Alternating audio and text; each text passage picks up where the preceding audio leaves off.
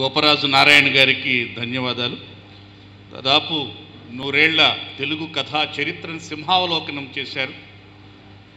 చాలా కథలన్నింటినీ ఒక్కసారి మరపుల్లో పడినటువంటి కథల్ని కూడా ఒక్కసారి తెరపైకి తీసుకొచ్చారు.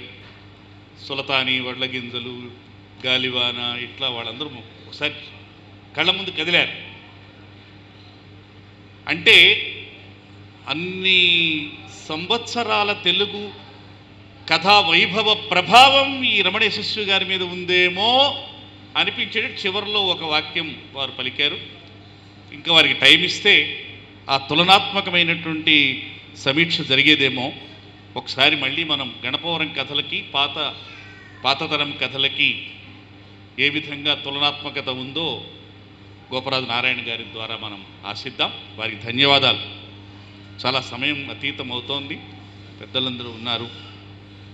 సంక్షిప్తంగా ప్రస్తుతమైనటువంటి ఈ సమావేశ అంశానికి తగ్గట్టుగా కాస్త ప్రసంగం చేయవలసిందిగా కోరుతూ తర్వాత ముళ్ళపూడి వెంకటప్రసాద్ గారు చెన్నై నుంచి.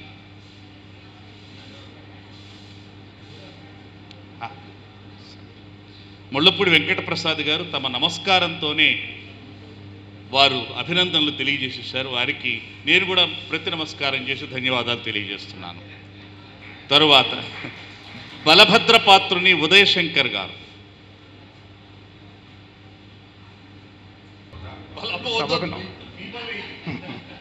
సభకు నమస్కారం. డాక్టర్ రమణ శిశ్వి గారు ఈ రాసిన మా గణపవరం కథలు. సారీ. గణపవరం కథలు చదివినప్పుడు అంటే అందులో చాలా కథలు ముందే చదివాను నేను అంతకుముందే అని పుస్తకంగా ప్రచురిస్తున్నాను మీకు ముందు మాట రాయమని అడిగారు నేను అంతకు అర్హుడిని కాదేమో అని అన్నప్పుడు కాదు మీరు రాయాలన్నారు సరే ఒప్పుకొని రాశాను.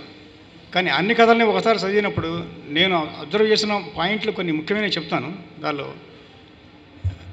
ఆయన ప్రత్యేకత ఏమిటంటే రమణశస్వి గారిది ప్రతి కథలో కూడా అంటే ఆ కథాంశం అంతకుముందు వచ్చినా రాకపోయినా ఆయన శైలి మటుకు విభిన్నం వినూత్నం విలక్షణం.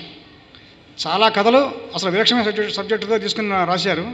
అన్ని కథల్లో కూడా ఆయన ముద్ర కనబడుతుంది. అది ఇప్పుడు ట్రాన్స్జెండర్ కథలు కానీ ఈ పెద్దమ్మ కథ ఆ సబ్జెక్ట్ మీద కొన్ని కథలు వచ్చినాయి. కానీ రమణ శశి గారు రాసిన ఆ శిల్పము ఆ శైలి మరి అది ఆయనకి ఎలా పట్టుబడిందో నాకు నేను కనుక్కోలేకపోయాను. కానీ అద్భుతంగా చాలా అద్భుతంగా రాశారు అవి. ఆ కథలను చదువుతుంటే మటుకు ఇది పది కాలాలు నిలిచే కథలు ఖచ్చితంగా అనిపించింది.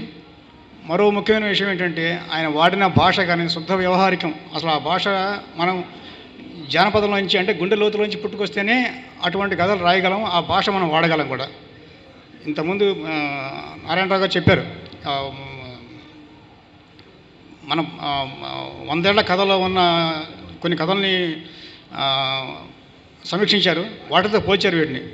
నిజంగానే మన అధ్యక్షుల వారు అన్నట్లుగా ఈ కథల గురించి ఒక తులనాత్మక విశ్లేషణ ప్రత్యేక చర్చా కార్యక్రమం పెట్టుకుంటే బాగుంటుందేమో నా అభిప్రాయం. అందరికీ సెలవు నమస్కారం.